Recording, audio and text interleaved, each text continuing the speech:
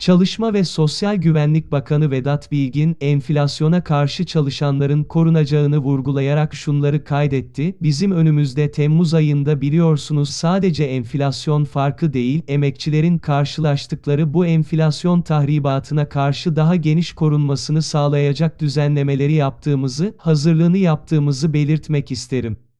Sadece kamu çalışanlarının, memurların, işçilerin değil aynı zamanda emeklilerimizle ilgili hazırlıklarımız var. Mayıs ve Haziran ayı enflasyon rakamlarının açıklanmasının ardından 2022 Temmuz zammı netleşecek.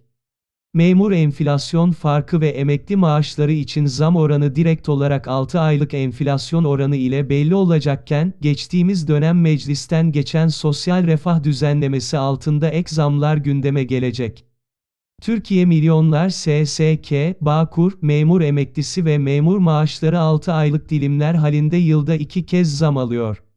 Enflasyon endeksli yapılan emekli ve memur zammı sayesinde hiç kimseye enflasyonun altında maaş zammı verilmiyor. Nisan enflasyon rakamlarının açıklanmasının ardından memur ve memur emeklilerine de fark verilmesi kesinleşmiş oldu.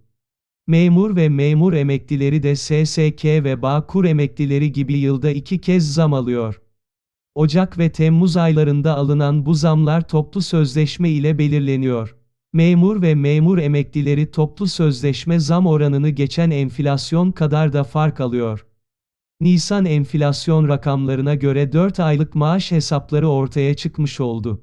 Memur ve memur emeklileri Ocak ayında %7,5 oranında toplu sözleşme zammı almışlardı.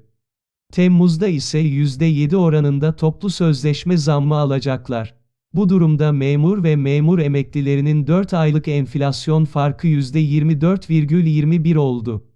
En yeni gelişmelerden anında haberdar olmak için kanalımıza abone olmayı ve bildirimleri açmayı unutmayın.